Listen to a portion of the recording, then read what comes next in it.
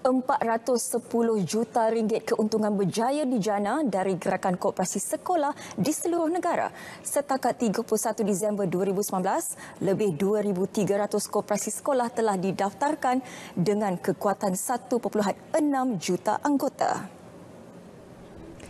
Pengerusi Eksekutif Suruhanjaya Koperasi Malaysia, Datuk Nordin Salih berkata, modal dan yuran keseluruhan koperasi sekolah yang berdaftar dalam tempoh berkenaan bernilai 27.27 juta ringgit serta aset bernilai 380.56 juta ringgit.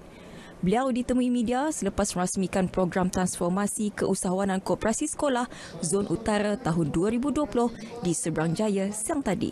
Program anjuran bersama Kementerian Pendidikan itu bertujuan meningkatkan pembangunan kapasiti, latihan dan pembelajaran berkaitan keusahawanan di koperasi sekolah.